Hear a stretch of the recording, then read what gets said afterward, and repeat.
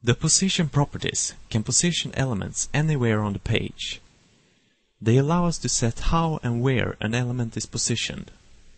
We can also set what happens if a content overflows a block element, and we can clip elements into a rectangle. Z-index sets the stacking order of positioned elements, and vertical align aligns an inline element vertically.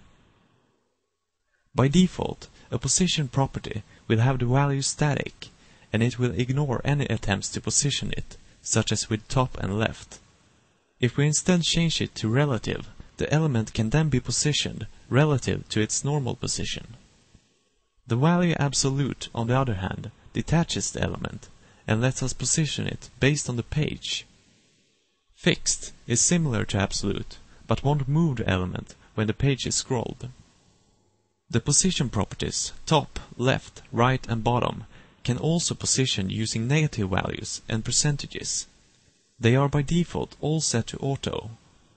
With these properties, we can not only position elements anywhere on the page, but also resize them horizontally and vertically.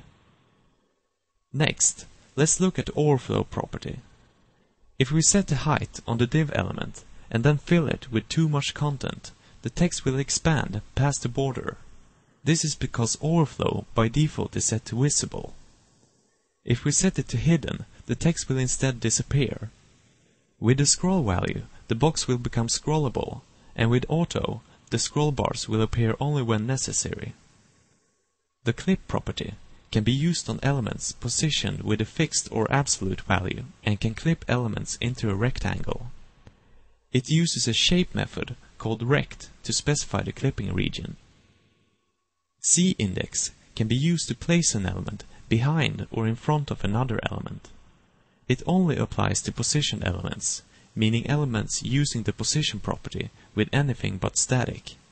It takes an integer as a value and the element with the highest stacking order will be in the front. Finally, we have vertical align that sets the vertical alignment of an inline element. By default, an image will align at the baseline of its parent element. The middle value will align at the middle of the line.